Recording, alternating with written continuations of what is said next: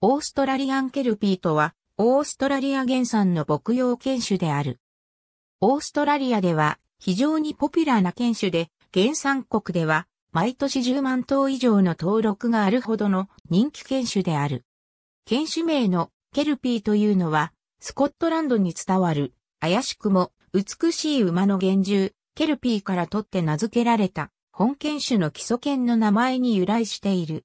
なお、兄弟種として、サイズが大きく、がっしりとした体つきで、ジェットブラックの毛色を持つオーストラリアンバーブという犬種も存在する。19世紀頃にスコットランドからオーストラリアへ旅立った移民が連れてきたスムースコリーがオーストラリアンケルピーの始まりであると言われている。このメスのスムース、コリーとオスのディンゴの交配によって生まれたケルピー一世というメス犬は牧羊犬として非常に優れた犬であったため、婿としてオスのスムースコリーを送られて子供を設け、それによって生まれた子犬のうち一頭はケルピー一世によく似た容姿で、母に負け劣らない実力の持ち主であった。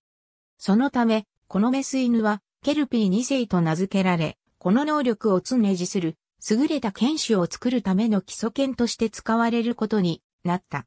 そうして、ケルピー二世を他犬種と交配させ、その子犬たちに改良を加えて作出されたのがこのオーストラリアンケルピーである。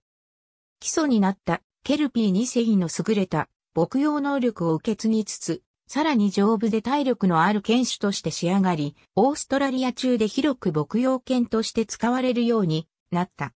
このように、オーストラリアで大人気の犬種であるが、日本でも安定した人気を誇っていて、毎年国内登録がある。2009年度は珍しく登録がなかったが、日本国内にもブリーダーが多く存在しているため、2010年度には再び登録が行われる可能性が高い。なお、ブリーダーやペットショップでは11から20万円程度の値段で販売が行われており、入手が可能である。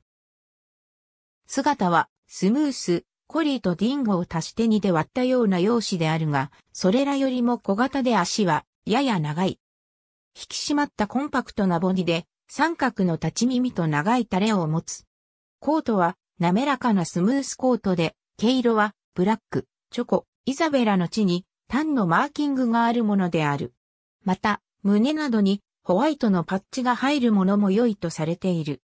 体高43から51センチメートル、体重11.5から21キログラムの中型犬で、性格は普段は非常におとなしく吠えることを嫌うが、警戒心が強いため見知らぬ人に対しては吠えることがある。